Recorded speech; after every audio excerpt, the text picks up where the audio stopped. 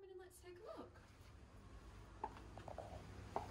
So as you first enter, you do have your single lock-up garage. There is, is an additional car space which is dedicated to this unit as well. Coming through here, we do have a cupboard for storage, a separate powder room downstairs, and then through to the laundry. So coming through here, you do have open plan living and dining, ceiling fan, air conditioning, which leads you out to your own personal courtyard.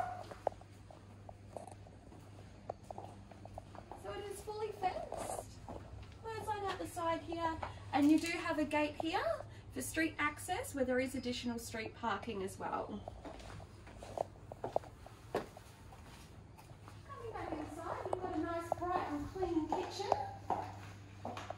Electric oven and cooktop.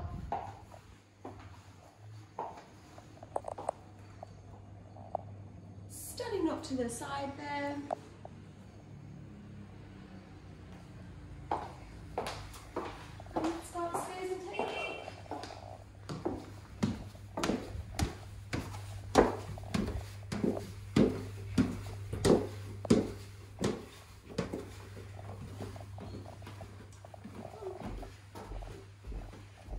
The end we do have the main bedroom.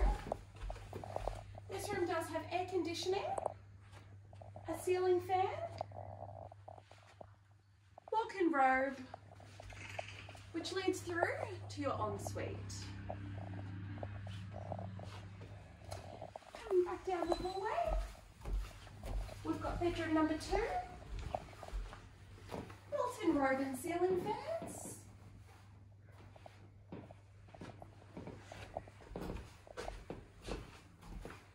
You've got an additional study nook here with a separate powder room as well. Coming through to your main bedroom.